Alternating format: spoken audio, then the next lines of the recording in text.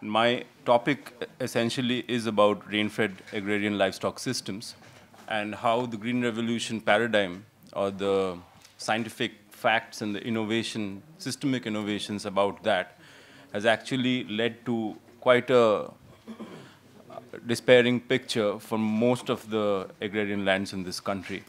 Now, uh, I'm basically uh, based at the Center for Studies in Science Policy, uh, and we have an economic research unit which is solely looking at rain-fed agriculture livestock systems. So we have a systemic approach uh, in India. Uh, I would like to actually lay out three things regarding innovation, sustainability, and development, which has to do with the Green Revolution paradigm. In a certain way, uh, the innovation that was the Green Revolution can be broken up into two parts. Essentially, all of you know the science technology part. But what I would like to draw your attention towards is how public investment was used to build an economic mechanism which could just about support any crop but it was actually used to support just two crops from the entire diversified basket of crops that India grew. Now, the economic mechanism, I can go into a greater bit, bit of detail uh, later uh, if you are interested, but very simply, given agriculture has a paradox, if you grow more, then the prices fall. So, of course, there is a price mechanism that has to be uh, taken care of. Public investment was used to subsidize inputs, subsidized, I mean, electricity, give fair price, I mean, better prices than market prices for just two crops, and maybe one more, which is sugar. But uh, that is the kind of economic mechanism, and the public distribution system finishes that entire circle, and a universal public distribution system is actually the basis on which we can actually talk about food security and not uh, high-yielding varieties only. The innovation that was there in this kind of economic mechanism has actually pulled India out of a kind of a crisis, but at present times, at quite a few of you would probably agree, we are not so much on a strong basis. About sustainability issues. So innovations, there are two kinds of innovations I would like to flag off here. What, one is what are the innovations that are designed for rain-fed areas? Essentially, if we take the assumption that India was rain-fed, and certain areas were given predominance, quote unquote, the irrigated areas, what is the, what is the innovation that we need for to specifically design an innovation or a series of innovations for what we are calling rain-fed areas or what even the government today is calling rain-fed areas. Secondly, when we come to sustainability issues, there is a question that I still don't have an answer to, which is high growth rates in the short run do give rise to negative externalities, whether it's environmental or sociological or economical or whatever. Now, during the Green Revolution, this was thrown out of, you couldn't question this. So we were growing, uh, agricultural production was growing, and yields were God itself, hence you can't question it. But what happens in the long run, when you endogenize such negative externalities, is that those high growth rates in a long-term trajectory fall flat. So what we see is probably no mud houses, but also no water in Punjab. We also don't see a lot of places which actually have water. This entire thinking about agriculture being dependent on just groundwater is to do with one kind of scientific fact which was accepted, which I don't think was too innovative uh, 40 years down the line. The third thing about development. Now, India, let us probably take this as a basis that there is high degree of socio-economic inequality. That is the basis on which our developmental question is going to be pitched. Now, if we leave out 68% of farming land, more than 70% of the agricultural workforce, most of the agricultural livestock systems, then are we actually squarely addressing socio-economic inequality, or is this a different kind of innovation that we are talking of? Now, I am actually part of a network which is trying to revitalize uh, rain-fed agriculture and livestock systems thereof.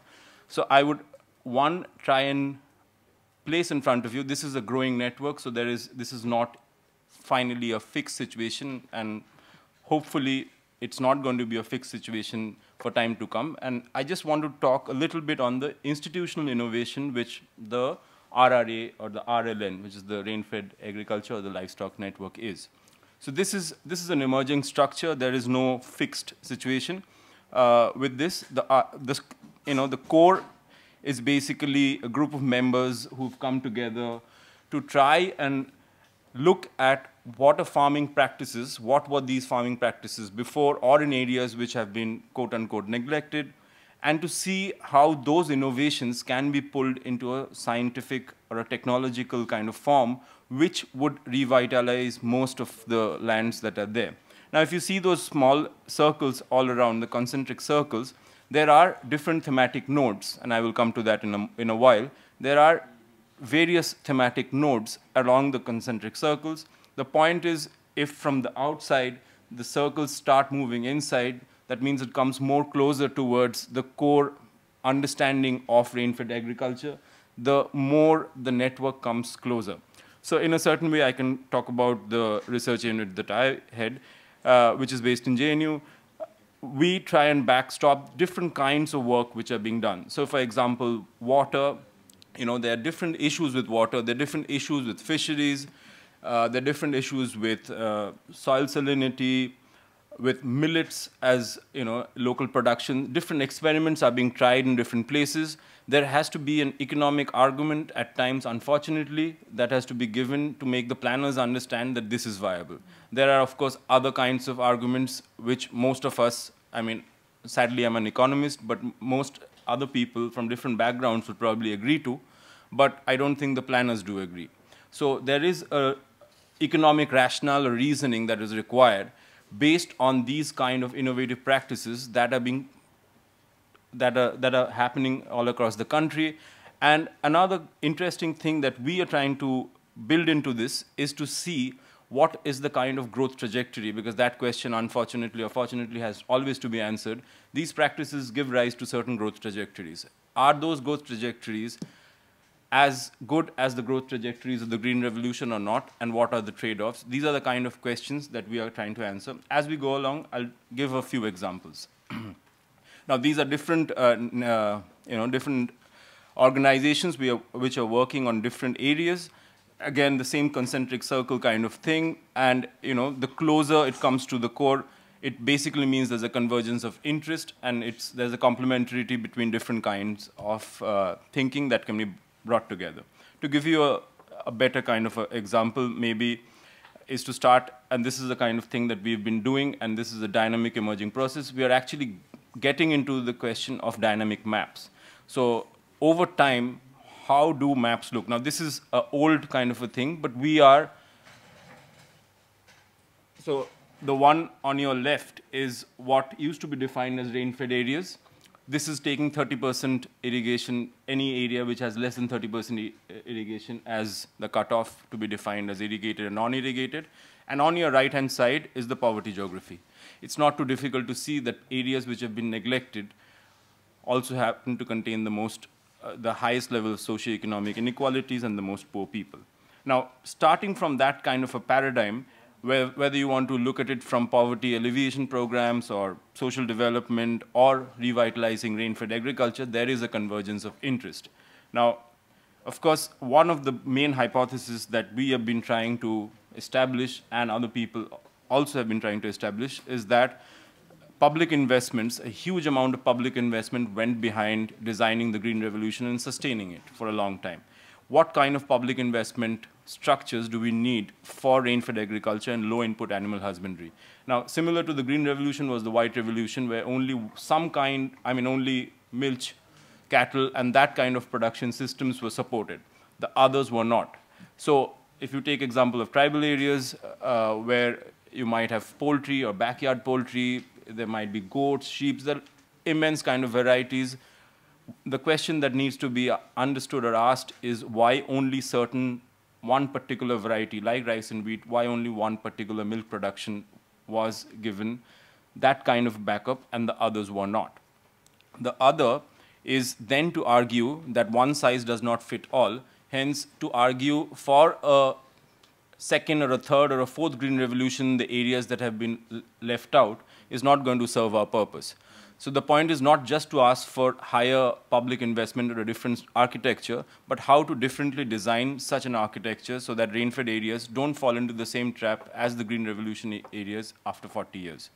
Now, this is some of the questions we've started asking. This is a just this is not even one year that this unit has come into being. So there is, of course, the question of addressing issues of rain-fed agriculture, the issues of rain-fed livestock, and of course, as the government now sees it, as rain-fed area development. I shall come to this right at the end in, uh, in the last slide. But what we are trying to look at it as a systemic kind of thing is what are the specificities that each of these have and what are the interlinkages that these areas have. now, in a certain way, the outer circles are the thematic nodes that most of us are working on. So there are issues with water, soil, seed systems, you know, the price support, credit mechanisms. So these are the issues, core issues, nutrients, you know, pest management and other kinds of issues that have been raised, livelihood, labor issues. These are issues which can be only, you know, if I take a very narrow view, these are the issues around rain-fed agriculture. Uh, similarly, there can be issues around rain-fed livestock. So, for example, if, I, if, if there is a program, proper vaccination program which reduces morbidity, then the amount of money spent in reducing morbidity, what kind of livelihood support systems can it evolve for poor households who have such kind of thing? And if that kind of a support system has to be built, what is the kind of mechanism that we need to use? Similarly, there are questions with common property resources, grazing lands, issues of health of animals, etc. Now, when we look at rain-fed area development, this is typically a planner's paradise, that there are, of course, existing policies.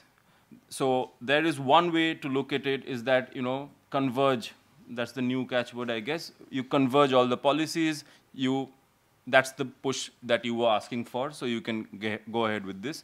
The other, of course, is what we are trying to articulate is that there needs to be a new kind of architecture which will probably answer these kind of questions.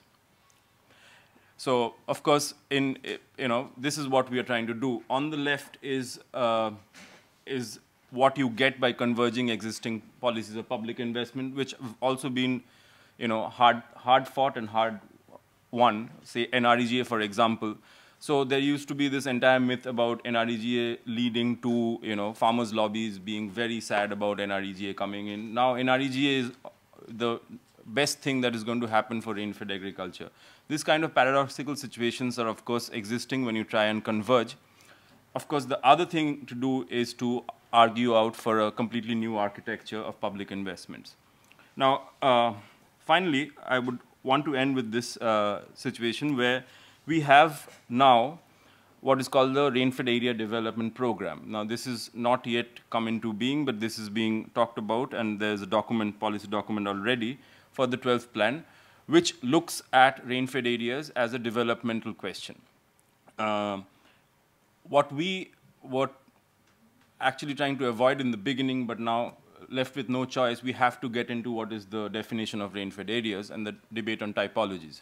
So what is what we've come out with is that the Rainfed Area Development Program out, outlines 424 districts in this country. So by the government's own admission, 424 out of 629 districts are outside the purview of a irrigation, of a, I mean, at least a 30 to 40% irrigation cutoff, which is a huge area what we have come up with is around 380 districts using different agroclimatic zones and taking different cutoffs. So 40% being the national average for irrigation, we have taken 40% irrigation as a cutoff for the humid zones, and the rest we've taken 30%. So even using different kinds of agroclimatic zones and cutoffs, we have come up with a list of 380 districts.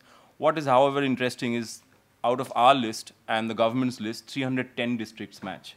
So there is more than half the districts of this country are rain-fed by any definition. Now, if there has to be uh, understanding, it has to be a dynamic understanding. So hence, we have actually got into maps, which will be out in the public domain very soon, and not going to be maps which are going to be stored in archives, but will be interactive maps where the population who wants to access those maps can actually look at it over time and add their own to it. The second thing, the final thing, I'll finish with an example. is, uh, like I said right in the beginning, the economic mechanism actually supports, could support any crop, X, Y, Z. What, what was done was it supported only rice and wheat. Now, there was an innovative experiment which is being tried in Andhra Pradesh, where 61 fair price shops were given an incentive to sell millets. Now, of course, there has been a lot of debate as to, you know, people don't eat millets anymore, it's not in our consumption baskets. But given proper incentives, and what was the incentive? There was an 8 rupee per kilo incentive given. So 6 rupees was the subsidization of production and 2 rupees was given to make it available in the local PDS fair price shop. What is seen over time is when this experiment goes on for a year, or it's been going on for a year, that a lot of people actually have been demanding and buying millets. So the same kind of argument, as I was saying, was given for rice in the beginning. There are areas which never had rice. But now, over time, they have shifted. The consumption patterns have shifted. Of course, I have nothing against rice or wheat. What I'm trying to say is that out of a diversified basket of 15 or 25 crops, we only give the economic incentive to some and then base it on scientific facts that this is the innovative yield and production that has happened. These are the kind of things that we are trying to grapple with. It's an open question, and I'd love to have your responses to that. Thank you. Thank you, Dr. Shastha.